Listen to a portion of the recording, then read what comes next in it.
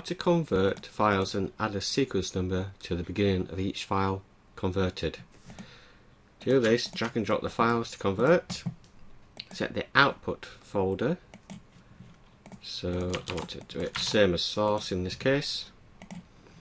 And then I want to add a sequence number before each file name. So go into conversion options.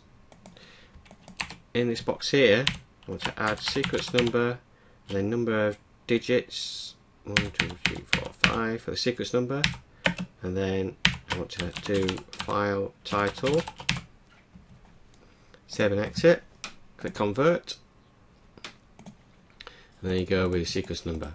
Now, if you want to change the sequence start at a certain number, you can do like a prompt sequence number. So do conversion options, type prompt sequence number, save and exit, click convert. Now a prompt so you can set the start sequence number, number of digits, you can say 8 digits if you wanted. Click OK.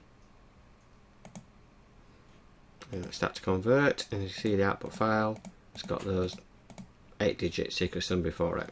That's it, give it a try.